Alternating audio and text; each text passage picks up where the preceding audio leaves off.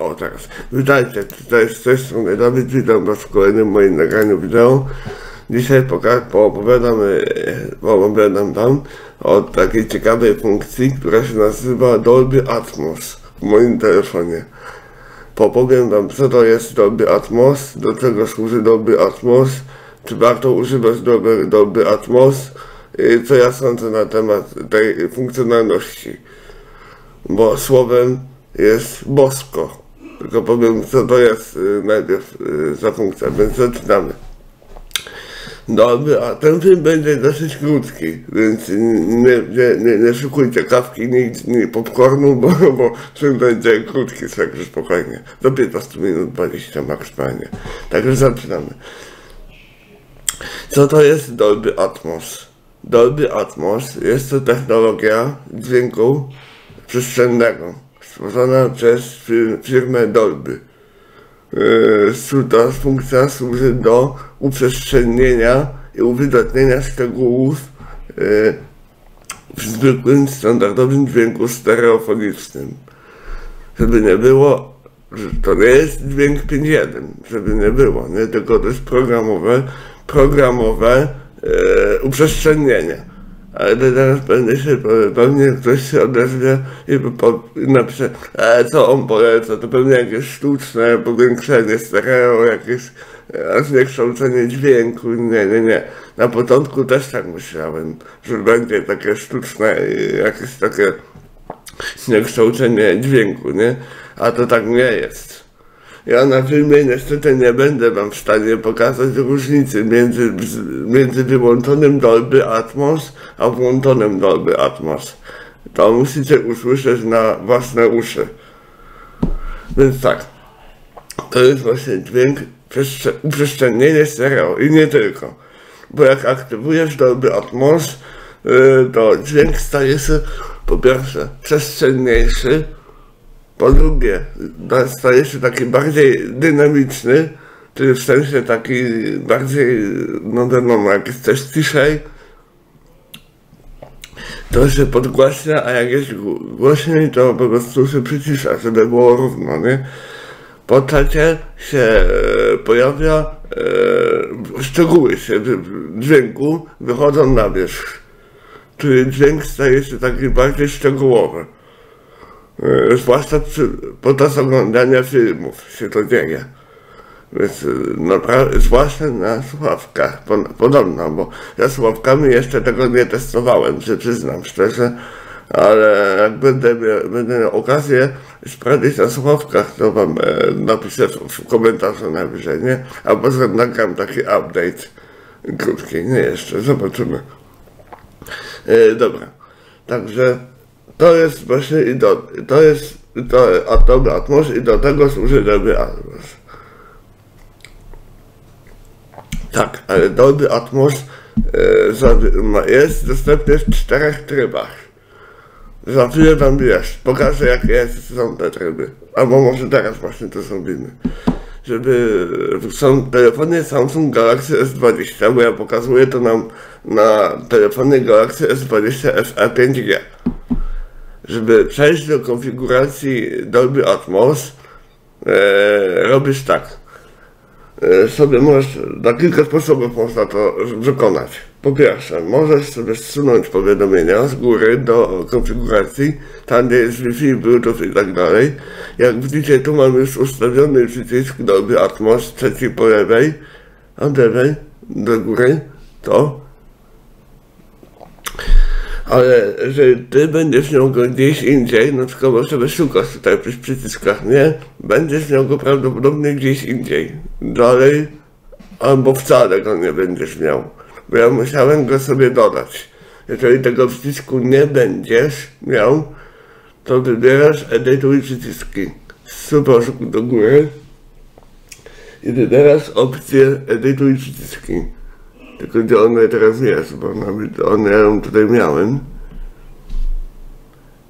Czekajcie, wiecie? Bo o, czekajcie, bo teraz muszę to znaleźć.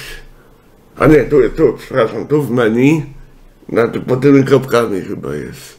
Ach, i te kropeczki są pod tymi kropkami i tu jest edytuj wszystkie, bo kiedyś to było tutaj, ale po, wtedy jak zaktualizowałem oprogramowanie telefonu do nowej wersji, to zmieniono to. Także będziesz to miał, edycję będziesz miał tutaj nad guzikami, albo właśnie tutaj menu, edytuj przyciski. Tutaj masz do góry przyciski dostępne, przyciski, które sobie możesz dodać. Jeżeli będzie tutaj właśnie Dolby Atmos, to sobie przyciągasz, przytrzymujesz palcem i sobie ściągasz na dół. Tu. W ten obszar, nie? I sobie wtedy dodajesz, nie? sobie też możesz przesunąć jakiś przycisk w inne miejsce, tak żeby ci pasowało. Jeżeli skończysz sobie edycję, to klikasz gotowe. O, i teraz ja sobie, jak widzicie, to już prędzej zrobiłem, ustawiłem Dolby Atmos za dźwiękiem. Eee, bo to jest funkcja przeze mnie używana na co dzień.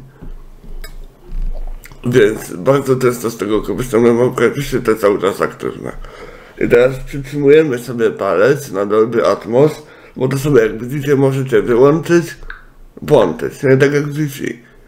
Przytrzymujemy dłużej i uruchomiła nam się konfiguracja. Jak widzicie, wspominałem już wam, że są cztery tryby Dolby Atmos, nie? Automatyczny, filmowy, muzyczny i głos. Automatyczny film, muzyka, głos. I tu jest opisane nowy wymiar dźwięku podczas odtwarzania multimediów. I nie tylko, bo to jest w całym systemie. Nad tobą i wokół ciebie. Jak ja to przeczytałem, to mówię sobie, kurczę, ale to będzie fajne. I naprawdę jest to super, to jest, mi się to naprawdę podoba. Y, więc, bo ja mam kolumny, podłogowe od, od do Pure Acoustics z Tunarem Yamaha. Robiłem o tym film. Jedna kolumna jest po lewej stronie pokoju, a druga jest, kolumna jest po prawej stronie pokoju. Czyli separacja stereo jest bardzo szeroka.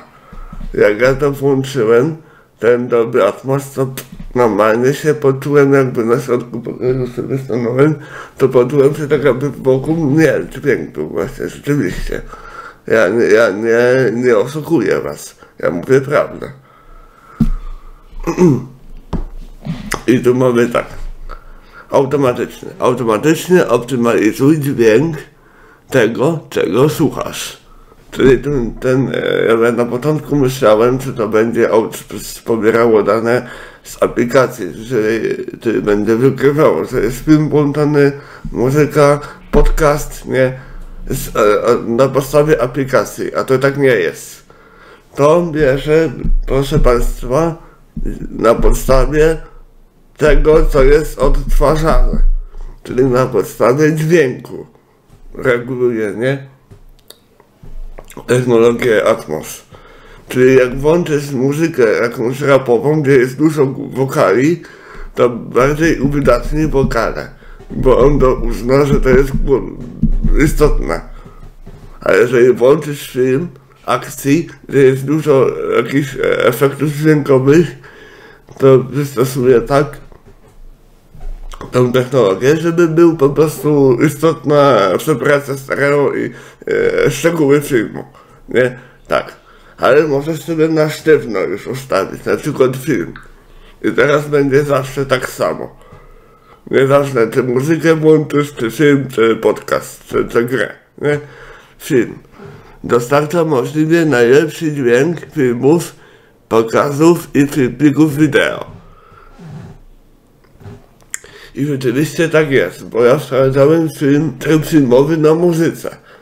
I wam powiem, że jak włączyłem elektroniczną muzykę, taką, gdzie jest dużo szczegółów, taką nawet nie techno, nie techno, nie house, tylko taką elektro, jak Jean-Michel Jarre. Jak ja to odpaliłem sobie na Spotify sobie znalazłem album Oxygen od Żara, to włączyłem tryb filmowy. I po prostu potem naprawdę była przestrzeń taka. Co prawda soprany są wtedy trochę takie mniejsze, obniżone, e, czyli wysokie tony, ale są zacofane do tyłu, ale za to są właśnie szczegóły muzyki. W tym przypadku testowałem, nie na e, okrzyżenie, na album Okrzyżeń. E, testowałem, nie? Ale później pobra- mam, włączyłem sobie, bo ja mam na dysku jakiś film, co to było?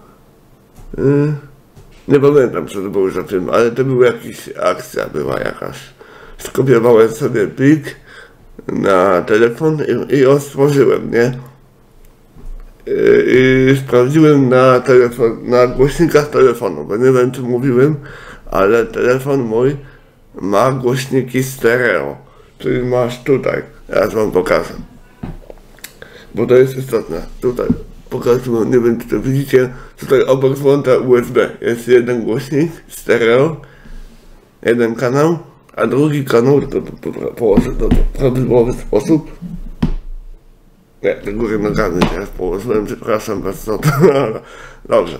A drugi głośnik gdzie jest? Tu, tu. Czyli co? Głośnik do rozmów jest traktowany jako drugi kanał stereo, tak? Tak. Ale nie jest to stereo równomierne. Czyli jeden głośnik, o przepraszam, co wyłączyłem tę konfigurację. Jeden, jeden głośnik jest, przepraszam bardzo, to odbicie od lampy, ale na już nic nie poradzę. Jeden kanał jest głośniejszy, a drugi kanał jest cichszy, ale jest słyszalne stereo, bo testowałem. E, na YouTube znalazłem jakiś film, właśnie, który tak jakby testował, czyli prawy, lewy, prawy, lewy, żeby sprawdzić po prostu, czy, czy grają te głośniki równomiernie. Jeden gra ciszej, więc po prostu jest e, ten od rozmów, nie gra troszeczkę ciszej, ale nie biera. No, to był tryb filmowy. Dalej mamy muzyczny. Niech brzmienie całej muzyki będzie bardziej bogate, pełne i zrównoważone. Czyli właśnie to już o tym wspominałem, że jak włączy się tryb muzyczny w przypadku automatyki, albo ręcznie jak na sztywno ustawisz muzykę, to wtedy jak włączysz muzykę, to ta muzyka będzie taka bogata, czyli szczegóły będą wychodziły na wierzch, takie bardziej drugoplanowe szczegóły, nie? W tym sensie. Bogate, pełna, właśnie to już wspominałem o tym, że ta muzyka będzie taka trudno to u, słowa ubrać, bo to jest taki specyficzny efekt. Ta muzyka staje się taka dynamiczna bardziej, nie? O, przepraszam za powiadomienie. I zrównoważona to jest właśnie to, e, też już o tym wspominałem, ta głośność. Czyli po prostu to jest tak zwany replay gen. Czyli jeden, głośny, jeden utwór jest głośniejszy, a drugi cichszy, to wtedy ten Atmos tak ustawi głośność, że te, że te utwory będą, one będą cichsze, ale nie będzie czegoś takiego, że cichutko i tak nagle głośno, nie? No i ostatni tryb, głos. Bardzo fajny, jak słuchasz na przykład sobie radia, jakiejś audycji, bo ja to wykorzystuję do słuchania audycji radiowych, gdzie jest yy, głos. I tu jest napisane, niech głosy będą głośne i wyraźne. Czyli e, muzykę, którą aktywujesz przy, przy muzyce z wokalem, to wokal właśnie wychodzi na wierzch, do przodu a muzyka jest tak jakby bardziej zacofana. Tak jakbyś słuchał e, wokalu, a muzyka była po prostu ciszej. To też zależy od źródła. Nie? nie jest to diametralna różnica, że, oczywiście między muzyką a głosem, ale, ale jest różnica. Też zależy na czym odtwarzasz, czy na głośnikach telefonu, bo na głośnikach telefonu jest bardzo dobrze to słychać, tylko na kamera nie będzie w stanie tego oddać. To już musicie sobie sprawdzić. Eee, od znajomego na przykład pożyczyć telefon, żeby się móc pobawić, jak ma Galaxy S20 albo inny telefon z dobrym Atmosem, bo seria A chyba też ma Atmos zbudowany. No, no albo inny telefon z tą technologią, nie? No ale wracając do tematu, głos. Czyli jak słuchasz podcastu, audiobooka, albo jakiegoś właśnie audycji, gdzie jest pełno głosu, a mało jakichś dodatkowych efektów. Bo tryb głosowy zmniejsza separację stereo, czyli ten dźwięk jest taki bardziej płaski, nie jest taki przestrzenny, ale za to właśnie e, głos wychodzi na wierzch, nie? Dobrze, no nie nadzieję, że rozumiecie. Ale jak aktywowałem ten głos na muzyce, to muzyka brzmiała już tak dziwnie. Mi się to, to nie podobało, bo to było takie wysłał dźwięku mono. Yy, to takie, było to stereo oczywiście, ale nie było już takie idealne, jak mi się to nie podobało. Dobra, to więc tak, tak to wygląda, nie? Jeżeli nie wiesz czego wybrać, to ustaw sobie automatycznie, to wtedy system na podstawie tego, na podstawie tego, yy, co jest odtwarzane, nie na podstawie aplikacji, nie na podstawie źródła, czy radio, czy coś, tylko na podstawie dźwięku jaki jest odtwarzany, nie? Będzie sam decydował, jaki tryb włączyć. A jeżeli będzie to dziwnie e, decydowane nieprawidłowo według Ciebie, to sobie ustaw e, film albo muzykę. No chyba, że słuchasz wtedy podcastu. To wybierz sobie głos, nie? Dobra. Więc tak, tak to wygląda. I teraz jeszcze kolejna sprawa. Yy, bo się na początku bałem, że to będzie tylko dostępne w aplikacjach od producenta, czyli aplikacjach Samsungowych.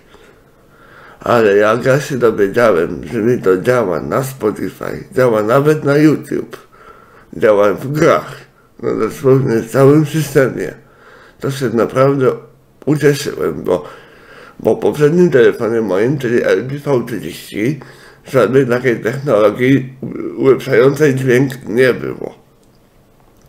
Yy, musiałem ten telefon rootować, czyli zrobić tak zwanego roota, yy, czyli uprawnienia administracyjne odblokować yy, w Androidzie, co związało się z utratą gwarancji. Żeby zainstalować takie, takie oprogramowanie, które się nazywa Viper for Android. Po prostu albo Viper FX. No jeszcze sobie później doinstalowałem D. Jak to było? DSP, DSP Dame chyba, czy jakoś. Dobry też wymagało ruta. I to właśnie, to, to właśnie ulepszało mi stereo, stereo i bas, bo tam też była funkcja basowa. Ale, to, ale tego na moim kanale wam nie pokażę, bo ja już tego ojczyka odrutowałem już zablokowałem też bootloader, czyli taki, taki odpowiednik BIOSu w telefonie. Jak mamy w komputerze BIOS, to tam jest bootloader. To jest taki program, który odpowiada za uruchamianie systemu. Ale nie proście się mnie, żebym odrutował ponownie, e, odblokowywał, bo tego nie będę robił. Bo, bo to się wiąże z ryzykiem i nie, nie polecam robić E, ruta wam też nie polecam, bo to się, bo to się wiąże z ryzykiem uszkodzenia telefonu. Ale jak się dowiedziałem właśnie, że tu jest też coś takiego, coś co nie, coś co nazywa Dolby Atmos i to nie wymaga ani ruta, ani żadnego kombinowania, to po prostu dlatego sobie ten telefon kupiłem, żeby był Dolby Atmos właśnie. No nawet jakby go nie było, to też było, byłoby dobrze, nie? Dobra, to to będę powoli może, może kończył, tylko wam powiem jeszcze, jakie tutaj, jakie tu inne technologie dźwiękowe są, bo to nie jest jeszcze wszystko. Ale testowałem tylko Dolby Atmos. Wejdziemy sobie w ustawienia, czyli zsuwamy sobie powiadomienia, klikamy sobie tutaj zębatkę, trzecia ikona od lewej, szukamy dźwięk, opcję dźwięku, dźwięki i wibracje. Tak, i szukamy teraz, yy, to się nazywało jakość dźwięku i efekty. Tylko wspomnę tylko co tu mamy, bo może zrobię jeszcze film osobny o tych technologiach, jak będziecie chcieli, e, ale nie, nie testowałem tych technologii, bo e, tak, bo, bo nie, nie miałem za bardzo sposobności, ale za chwilę wam powiem, dlaczego nie testowałem. mamy dobry atmos, sobie właśnie możemy to włączyć, wyłączyć, dobry atmos w grach. To jest jeszcze, bo wam o tym nie wspomniałem, piąty tryb. To przepraszam, to nie mamy czterech, czterech trybów, tylko pięć trybów jest. Gamingowy jeszcze jest tryb. Roz, się realistycznym dźwiękiem dobry atmos, włączającym automatycznie w grach. Włączanym automatycznie w grach, przepraszam. No, ja sobie też to aktywowałem jeżeli grasz na telefonie, to sobie to aktywuj. Dalej mamy korektor graficzny. Czyli sobie tu możesz włączyć korektor equalizer. Equalizer, to się prawidłowo czyta, no. I mamy normalny, czyli płaski, pop. O, to wtedy mamy takie średnie tony podbite, tylko klasyka to będą, będą średnie tony obniżone, ale wysokie tony obniżone, e, podwyższone też, przepraszam, a średnie obniżone, bo w klasycznej, klasycznej muzyce najważniejsze są wysokie tony. Jazz to będą, będzie środ, środkowe tony będą podbite, e, tak, średnio niskie, a i wysokie, najwyższe, jak tu widzicie, ten, te niebieskie suwaki, nie? Rok to prawdopodobnie będzie e, podobnie do jazzu, tak? Średni, średnica właśnie bardzo mocno tak. Tutaj mamy 1 kHz obniżony na minimum. A na przykład właśnie, tak, jak to się nazywało, ba, basy troszeczkę podbite, niewiele, ale i wysokie tony też, nie? No i możesz sobie niestandardowo, czy po prostu sobie tutaj samemu ustawić dźwięk, o, jak Ci się podoba, nie? Ja sobie zrobię normalny, bo ja korektora nie używam. Dalej mamy Scalar UHQ Ultra High Quality. To jest skrót. I o co tu chodzi? Ja wam to przeczytam. Popraw dźwięk muzyki i filmów w słuchawkach. Aha, tak. Teraz się pewnie spytacie, czy to działa, działa na Bluetooth. Niestety, drodzy widzowie, nie działa to na Bluetooth, bo, bo testowałem na Bluetooth. Włączyłem sobie głośnik Bluetooth amplituder Yamaha, połączyłem z telefonem i nie działa skala USQ. A to powinno być właśnie dedykowane na Bluetooth. Bardziej mi się wydaje, a nie na kabel.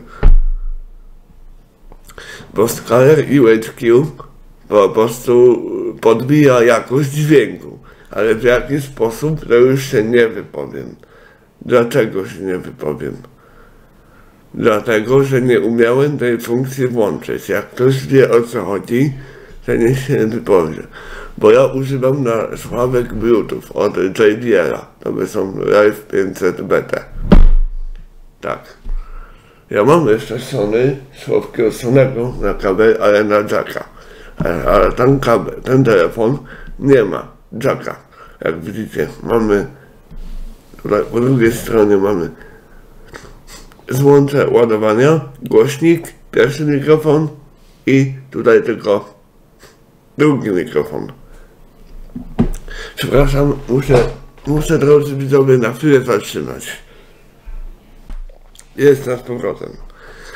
Także no ten skaler UHQ nie działa, więc idziemy dalej, bo to film ma być głównie, głównym tematem miał być dobry atmos. I ostatnia funkcja Adapt Sound. Powiedzcie sobie teraz, co to znaczy adapt po angielsku. Ja, no, pomyślcie, co to znaczy adapt. Co to jest adaptacja? Bo to jest, bo to o chodzi. Co to jest adaptacja? Ja wiem. Dostosowanie czegoś przystosowanie się do otoczenia na przykład, adaptu, adaptuje się do czegoś, nie? Czyli przystosowuje się do, do, do czegoś. Tu jest właśnie o to chodzi. Dźwięk przystosowany do, do, do otoczenia, czy do, do organizmu, bo tu chodzi o organizm. Ale dlaczego chodzi o organizm? Ja wam to otworzę i zobaczycie, co tam jest napisane. Ja wam to przeczytam. Twoje uszy są wyjątkowe. Tak, to prawda, bo ja oglądałem film e, dokumentalny, który mówili też o tym. E, możesz mieć większą lub mniejszą wrażliwość na dźwięk o określonych częstotliwościach w porównaniu z innymi ludźmi, osobami. Twój słuch zależy od wieku, może także być różny w prawym i lewym uchu. To prawda. Adapt Sound zapewnia perfekcyjny dźwięk dostosowany do, do, do, do tego, do twojego, do twoich uszu. Jak ja to pierwszy raz zobaczyłem, to normalnie aż mi się wielkie oczy zrobiły. Bo od razu chciałem to przetestować, ale nie udało mi się dlatego, wam powiem dlaczego. Funkcja działa zawsze po założeniu słuchawek. Adapt Sound 2. To sobie możesz wybrać. Dlatego do, do tego, czy chcesz skonfigurować Adapt Sound do multimedia i połączenia, tylko multimediów, czy tylko połączeń. Ja polecam wybrać tą pierwszą opcję. Dalej wybierasz zakres wieku, w którym się znajdujesz. Możesz wyłączyć tę funkcję. Wiek poniżej 30 lat, po, po, od, pomiędzy 30 a 50, 60 laty i wiek powyżej 60 lat. I jak wybierasz, wybierzesz odpowiednią dla siebie opcję, tutaj masz konfigurację i tutaj sobie jak widzicie możesz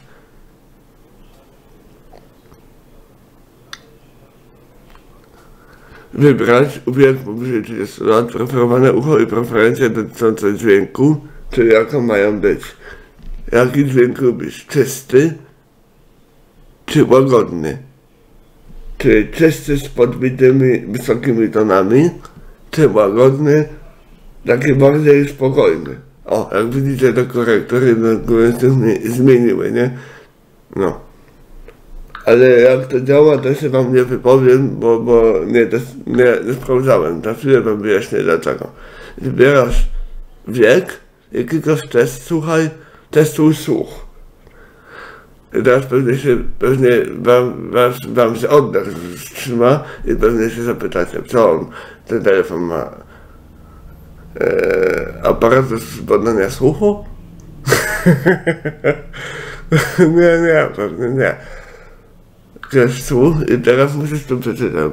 Przejdź w ciche miejsce, załóż słuchawki i zamknij wszystkie aplikacje multimedialne. Testuj spostrzegłość, aby znaleźć najbardziej odpowiedzialny dźwięk, odpo odpowiadający dźwięk. Obecnie spersonalizowane dane dźwiękowe zostaną zastąpione. Do, odepnij, op, co? Dotknij opcji posłuchaj fragmentu i postępuj zgodnie z instrukcjami wyświetlonymi na ekranie. Jak kliknę sobie start, to mi się pojawi błąd, że podłącz słuchawki. Tak jak widzicie, podłącz słuchawki, aby rozpocząć.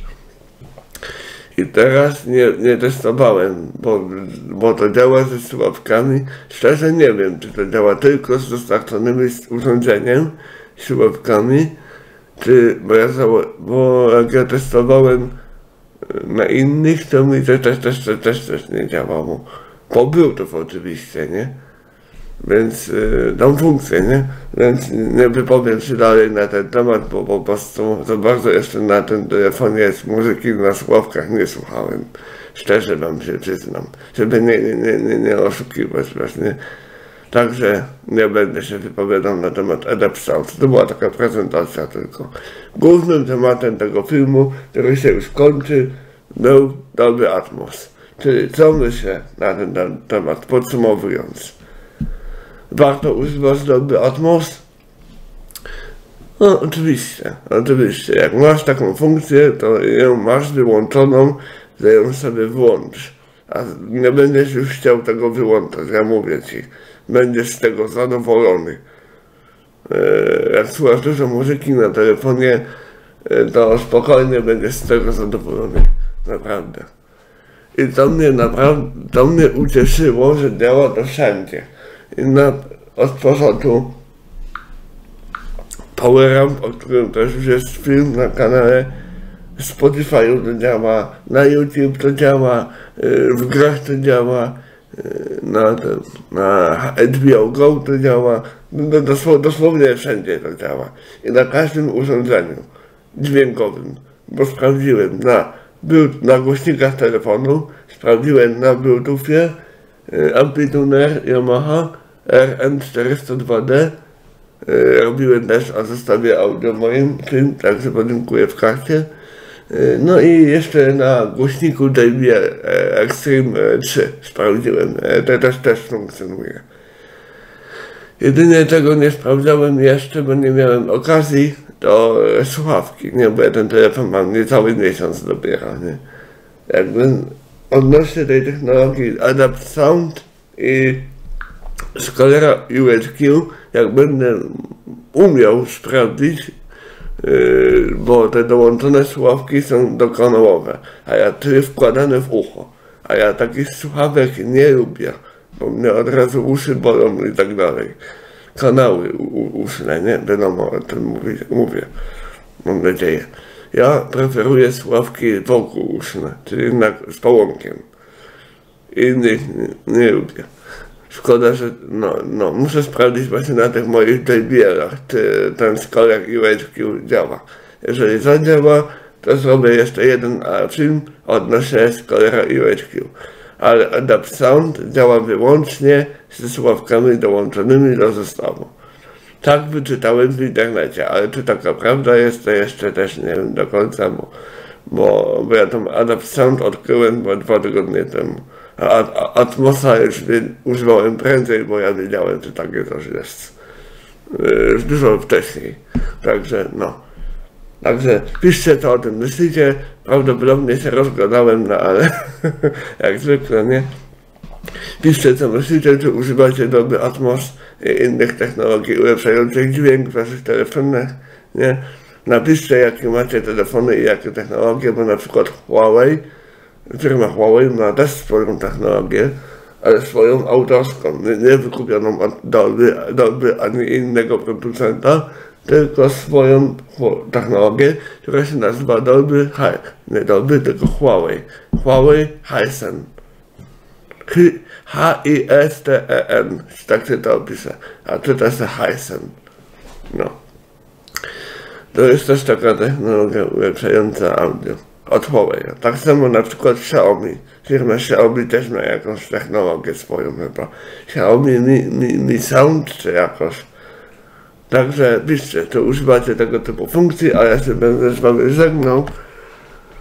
Skupmy się, skupcie się na dobry Atmos i czy używacie tego i jakie są wasze wrażenia. Ale jeżeli macie inny telefon z innymi technologiami, to również się możecie wypowiadać. A ja się będę, będę żegnał. Do zobaczenia. Cześć. Na koniec suchar. Yy, Co widzi kogut, kiedy wejdzie pod prysznic? No, co widzi kogut, kiedy wejdzie pod prysznic? Zamknięte, zakręcone górki.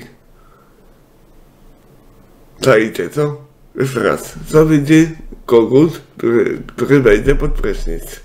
Zakręcone kurki. Bo kurek to też jest kran. Czyli tam nie woda leci. Nie? No. Ale kura to jest e, płeć damska koguta, nie? Dobrze, to takie na zakończenie, na poprawę humoru. Do zobaczenia. Cześć.